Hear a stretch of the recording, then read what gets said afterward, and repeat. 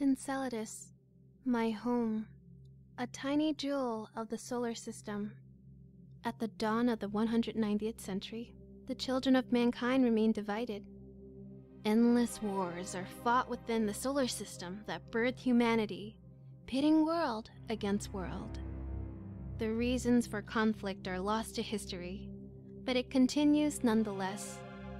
Desperate for any advantage, the children of man play God, creating genetically modified soldiers to fight on their behalf. They call us angels.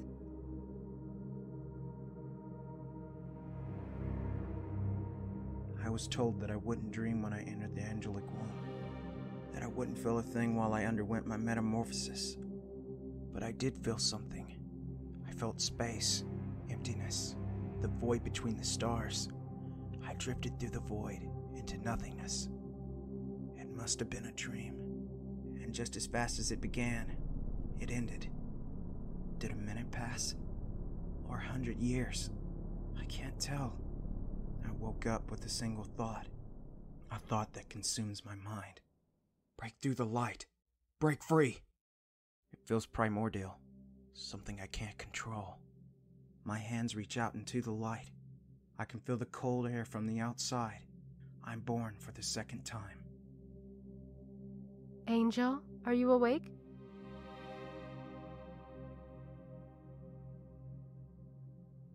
She called me Angel. That must mean my metamorphosis was a success, right? Do you remember where you are?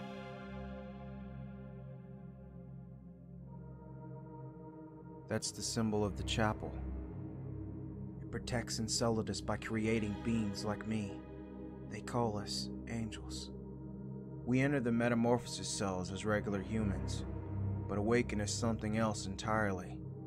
After thousands of years of genetic engineering research, the children of mankind are able to create super beings. It's an android. Androids are here to protect us, but they're also here to make sure we follow orders. They're able to kill an angel in the moments after we awaken. We're weak at first, but once that time passes, we become too powerful to stop. It can still kill me. That's the only reason why it's still here.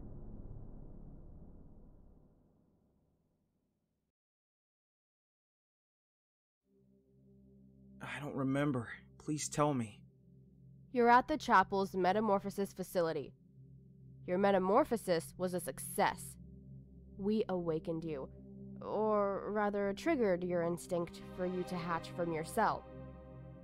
The time has finally come for you to experience this world through the eyes of an angel. Angels are only awakened if there's a threat to our world. You are aware that angels like you are awakened only when there's a threat to Enceladus. We don't want to waste your sacrifice on anything less. Your life is too precious. Is Enceladus being attacked? What are we waiting for then? Tell me, I don't want to waste any more time. Please, calm down. We're not being attacked, but we're not entirely secure either. Rather than going into battle, we awakened you to negotiate. Negotiate? I don't understand.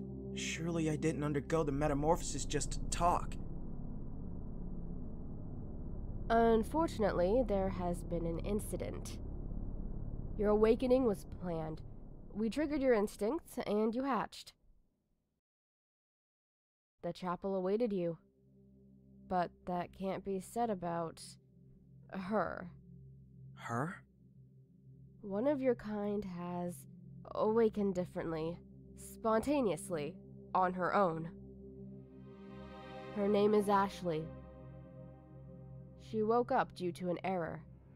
A malfunction. She panicked and fled the facility. An angel on the run?